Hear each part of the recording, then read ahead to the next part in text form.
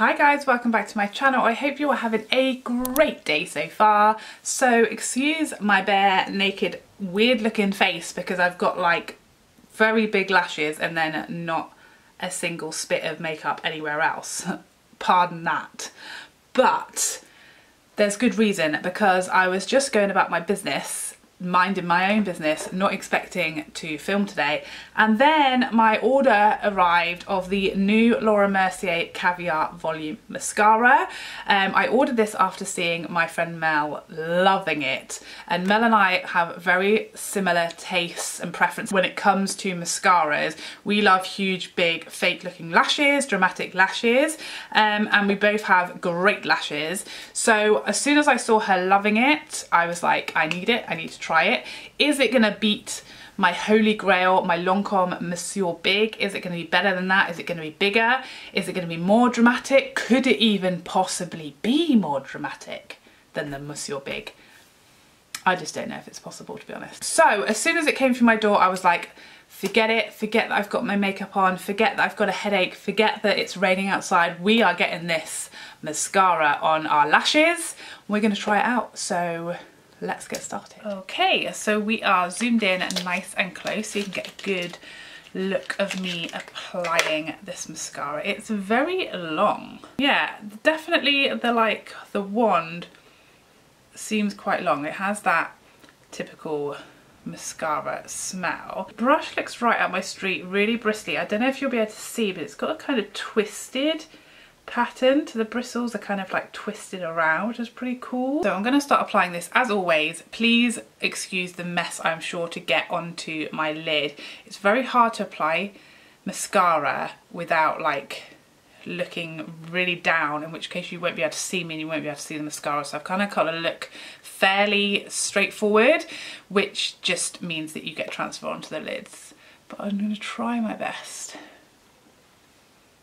So I'm just going to start applying this as I always would with sort of wiggly motions at the base and a bit of blinking onto the brush. This is the technique I always use when doing my mascara. Okay, this is interesting. I'm not really... Okay. I'm not getting a huge amount of volume. I'm also going to go from the top down rolling the brush, which is how I get... Ooh, which is how I get a nice coat on both sides of the lash and gets that extra volume. Hmm, okay. So for a first coat, that's pretty underwhelming to be honest. I feel like I haven't got a huge amount of length or a huge amount of volume. It's definitely not a super wet formula. I don't feel like my lashes are really wet like with the Monsieur Big and I'm not feeling like the brush is putting a load of product on either. Um, so it may just be one that for me to get as you know dramatic a lash as I like, I might need to do a few coats, but it's not clumping at all. It's definitely leaving me lots of lashes and it is lifting the lash nicely, curling the lash nicely. It's really just not giving me like the drama that I like, you know? So I will say it's, it's actually, it's a decent first coat to be fair.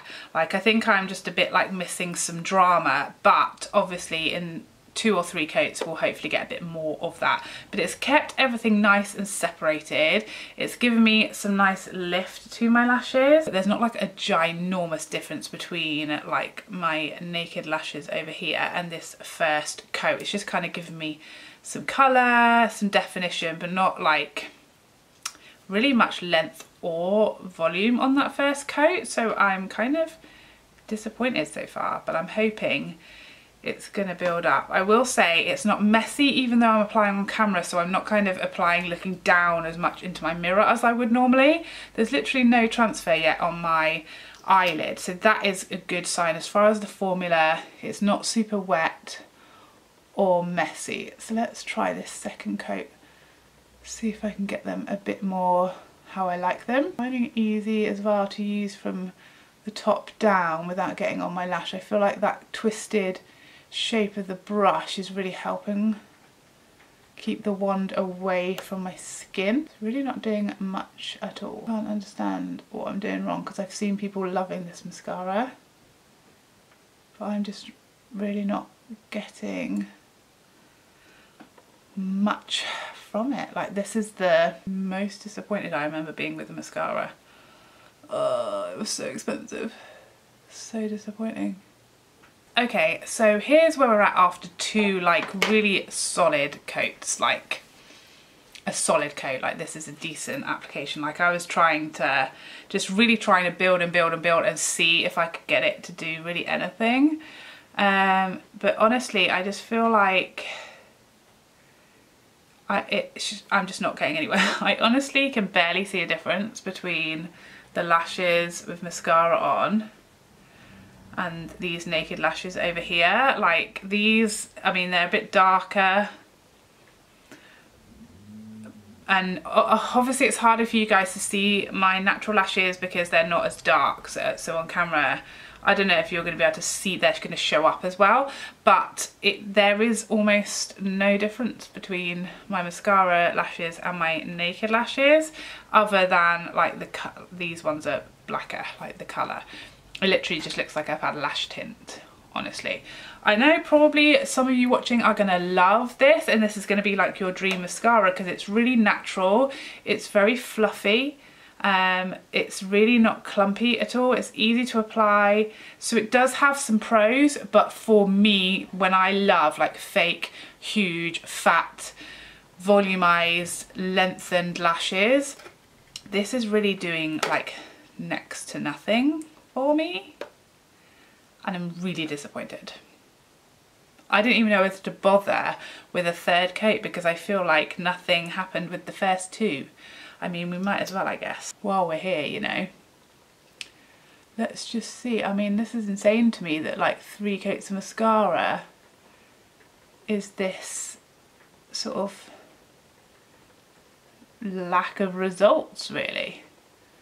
You'd expect a lot more than this after three coats, or I would anyway.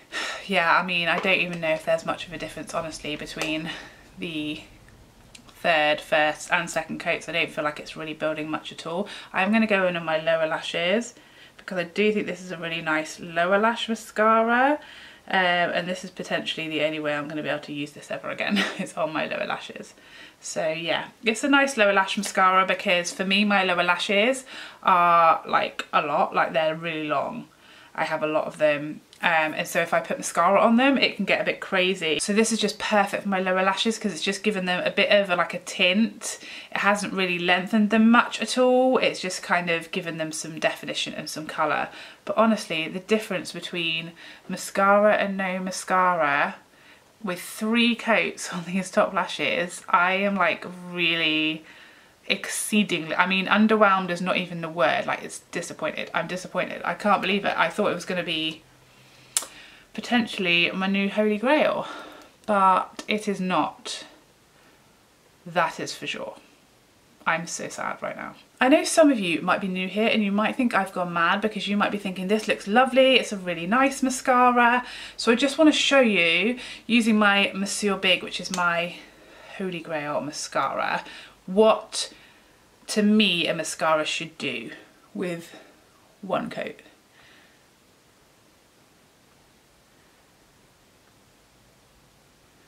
Right. I mean, did you see that was one, I mean, not even a coat, it was literally like three strokes and we're already better on, I would say, to me, for what I look for on the Monsieur Big than on the Laura Mercier side. That was literally three strokes of my wand.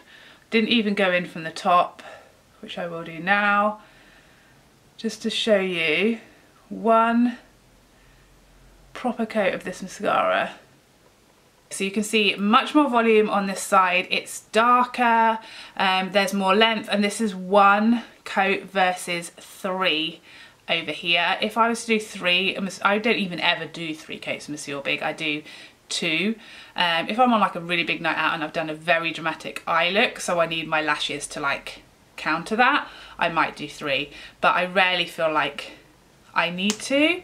Um, Monsieur Big is much wetter of a formula, so it is messier to work with, like you can already see I've got some like excess on my lid there, but I quite happily just deal with that with a cotton bud once it's dried, as opposed to having this situation. So on my lower lashes, I don't really use Monsieur Big very often, but when I do, I have to wipe all the mascara off and use the tiniest amount. And even then, it's a little too much for my lower lashes. Um, I prefer to use my roller lash for my bottom lashes, but even so, again, it just shows you the difference. Like I feel like the this eye looks twice the size of this eye. I feel like the Monsieur Big is doing like twice as much as the Laura Mercier with a third of the product and a third of the coat and the time. They both have lift. These lashes, don't get me wrong, if this was coat one and we could build on this, it's a nice fluffy separated, unclumpy, natural looking lash. But I look for dramatic volume, length, fake looking, and you just cannot achieve that, or I cannot achieve that with the Laura Mercier. It's just not giving me enough. It's not giving enough to me. Not the Monsieur Big, it's just, it's just not on the same planet. So there you go, it just goes to show don't judge a book by its cover. Not everything works the same for everybody. I've seen my friend Mel loves this one and gets a really lovely dramatic effect with it. I did hear Mel say in one of her recent videos that this one like got better as it aged. So I'm gonna definitely keep trying it, giving it a couple more goes over the next few weeks as it gets a bit older. But that is one of the things I love about the Monsieur Big is that from the first use to the last use when it goes in the bin because it is empty, it is amazing every use. Whereas I do have a lot of other mascaras where they are like just, you know, they have a sweet spot. They're not great at the beginning or they dry out really, really fast. One way or the other, there's like a period of time where they're really good. Whereas Monsieur Big is like, it's always amazing. Um, yeah, I just, I'm so confused right now because I really thought this was going to be like my new holy grail and it was a holy fail for me and I'm I'm sad about that. I'm sad. I'd love to know if you guys have tried this new mascara, if you had a much better experience than me. Have I got a dud? I don't know. I don't know or what is going on. I hope you found this review and comparison video helpful. I would love to see you in my next one. Otherwise, take care for now. Bye bye bye bye bye.